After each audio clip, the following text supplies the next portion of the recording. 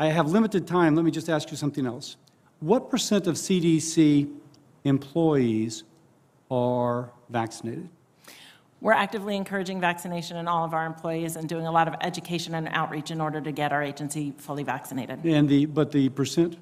I, I don't have that for you today. I'm told that 75, to, um, some north of 75% of CDC employees at headquarters are still working remotely. Is that correct? Um, We are following um, regulations through HHS and the federal government. No, that's not my question. I apologize to be rude, but, but, but I'm asking a very straightforward question. I've been told that north of 75% of employees at, at at CDC headquarters are working remotely.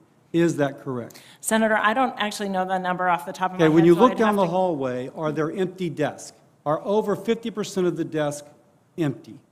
Senator, I don't have the numbers off the top of my head. What I will tell you is that we're working closely within HHS and the administration to follow the governmental rules for return to the There was a recent GAO report that shows, and released in the last two weeks, that there's been no coordinated response from the federal government to get people back into work.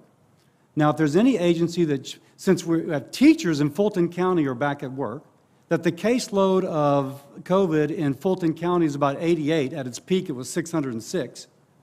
Uh, If what I've been told by someone who frankly kind of knows, that people in laboratories are not showing up.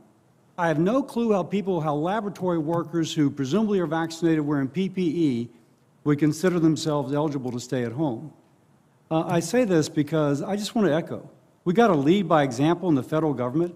If our public health agencies don't have enough confidence in the immunization and in the PPE to go back to work, fighting infectious diseases, there's going to be a lot of undermining of, an, of a willingness to further fund public health.